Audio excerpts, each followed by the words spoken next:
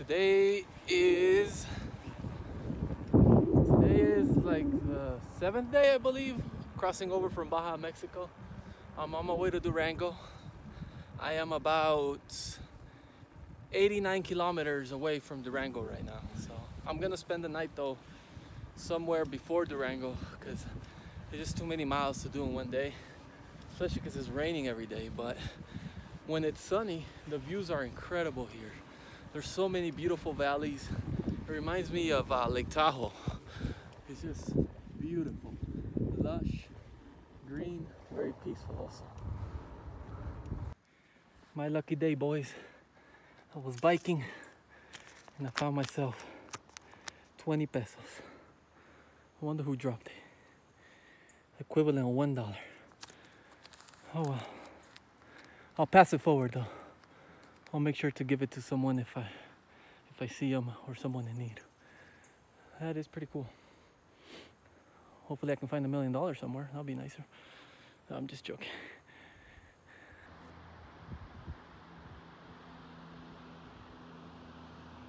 This is a beautiful valley right here on the way to Durango. Need to climb that hill over there, but look at this river just flowing down this valley here. How gorgeous is that? This is another reason why you should bike in Mexico. These views are spectacular.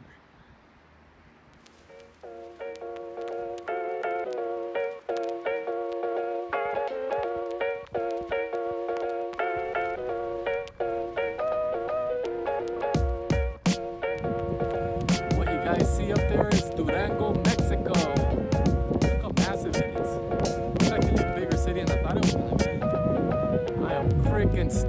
Be here.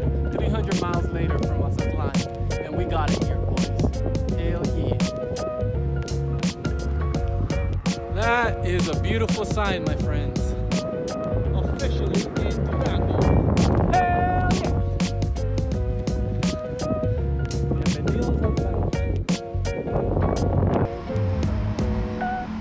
I got my coffee.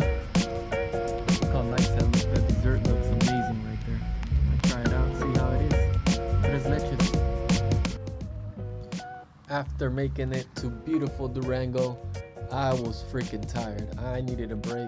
My legs were dead, so I went and climbed some stairs. Just kidding. That was like the third day after I decided to take a break in Durango and rest my legs. I got to know the city, met a couple of wonderful people, ate really good food, and just overall rested my body. But after the three days, I decided it was time to get back on that bike and continue my mission to get into Nicaragua because I still needed a little section of Mexico to go. It, actually, it wasn't little, there was a lot of more Mexico to go. So I only spent three days and we're back on the grind and heading south. As you can see here in the map, there's still quite a bit to go in order to get to the Guatemalan border. I want to end the video by saying thank you to all the new subscribers to my channel. It means a lot to me for people to subscribe and watch my videos and hit that like button. I appreciate the support and love you guys. For those that are new, consider subscribing so you can follow along the journey as I continue south to Nicaragua to my grandma's house and then also start coffee farming. If you're thinking about doing this anytime soon, just go ahead and do it. This is going to be a memory of a lifetime and it is totally worth it. Cheers guys, till the next video.